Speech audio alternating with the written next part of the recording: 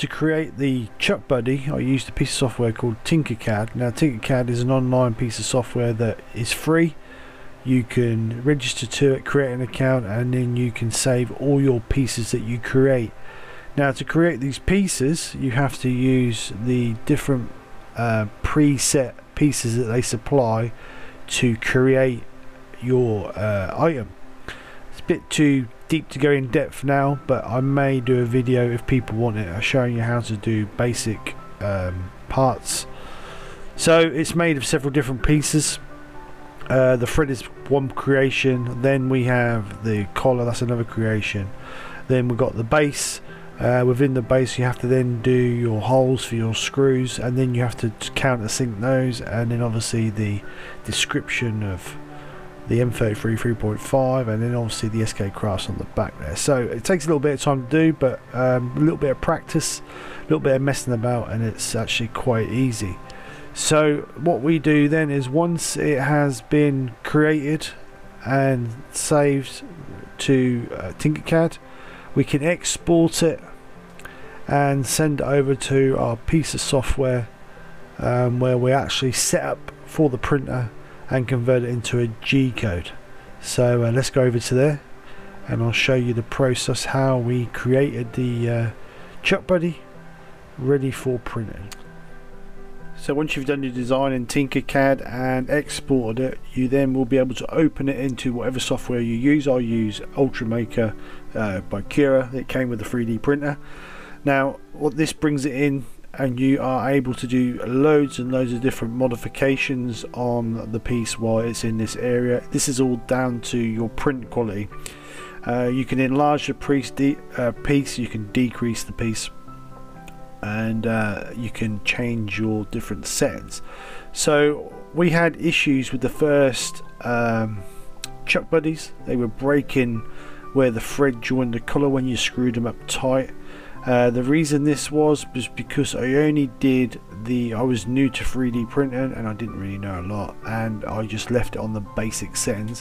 When I did a little, little bit of research the infill was only at 20% so I increased the infill to 50% and what this does it gives you um, a lot tighter knit um, infill to create a stronger print so that was the first thing we did. The second thing I did is originally it was on cube. Uh, this shows you the difference between a cube. This is the cube. Um, this is what we originally printed on but we changed it to the trihexagon. And as you can see it's a lot stronger um, fill. So they're the two main things I changed. And then the other thing I changed was the um, plate adhesion um, it came as standard with the skirt, which is this one here. It just puts a thin bead around the outside. I think it's three lines or whatever. Uh, but I did it to a brim. The reason being is uh, on the skirt you seem to get a little bit of uneven print around the outer edge as the as the the filament cool down. Uh, with the brim it just holds the heat a little bit better and gives you a better print on the bottom of your piece. So those are the three changes I really made um, and they seem to work. We end up with better print quality for the Chuck Buddies and we end up with a decent piece, finished piece. So once you've done that, you need to slice it. That will then convert it into a G code for your printer to um, read. And then once you've done that, you can then export it onto a micro SD card uh, which you plug into your print, uh, which then goes into your printer. The printer is not connected to the computer. It's not advisable to run your printer off your computer, uh, just in case there's problems with the computer. Um, so most 3D printers work on a micro SD or an SD card. So that is how we actually get it ready to print. Um, so let's go over to the printer and uh, watch it print. We've chosen the program we're going to run on this occasion. It's the M33 by 3.5 Chuck Buddy. Um, the way the 3D printer works is if you can imagine your computer printer, uh, inkjet printer say, printing in the same place over and over and over again to create a higher build. That's basically the way a 3D printer works. Um, but rather than being two dimension, obviously it's three dimension each layer of the 3D printer or is you can set it but on this occasion it's 0.06 millimeters. Um, so you can imagine there's quite a lot of layers to create the chuck buddy um, the time it takes to print this particular program is around about 3 hours and 25 minutes. Um, but as I've times it by 100 real time or fast time uh, you're going to see in about 3.5 minutes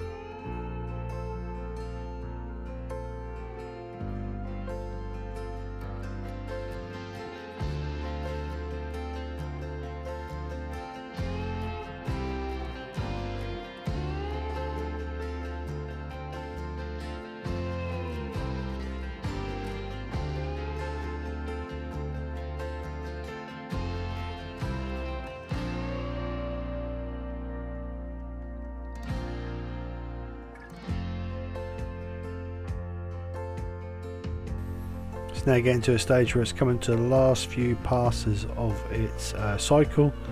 Uh, once it's finished, the head will lift and then the uh, hot plate will move to the outside and then it will do a shutdown sequence so the heated bed and the uh, print nozzle will cool down and release the piece off the bed. You can't pull the piece off unless the bed is cold because the heat is what keeps the uh, the 3D printed item to the bed and if you try to be in the bed only being glass you may crack the bed or, break the bed but always best to wait.